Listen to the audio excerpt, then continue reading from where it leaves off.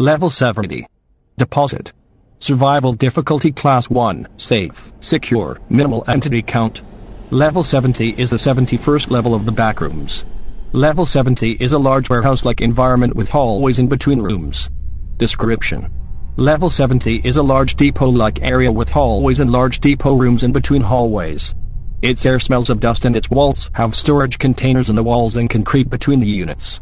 The containers are labeled from 0 to 999.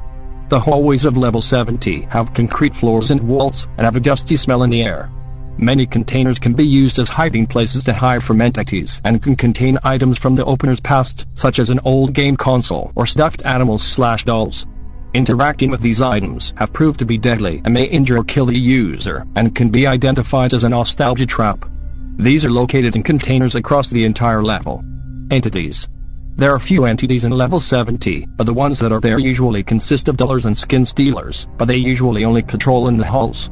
The only entities found in the storage rooms are death moths, colonies and outposts.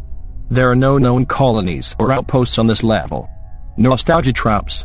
Nostalgia traps are items that are an important or memorable part of somebody's childhood or past memories that will usually call out to their victims using auditory cues, that is, the ticking of a clock, a console startup noise, or the playing of a mixtape. When interacted with, it can be damaging to humans, but not entities. It gains the name Nostalgia Trap from its ability to lure humans in with warm and loving memories and then injure slash kill its victim. It is unknown if the beans are snashand or not. Entrances and exits. Entrances.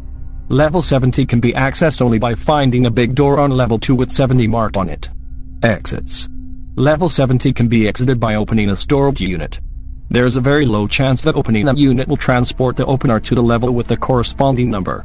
Storage units that have a number that is an unexplored level will have no chance at all of entering a level. Level 70 can also be exited through a blue door at the end of the warehouse room's hall leading to level 71, but is highly not recommended.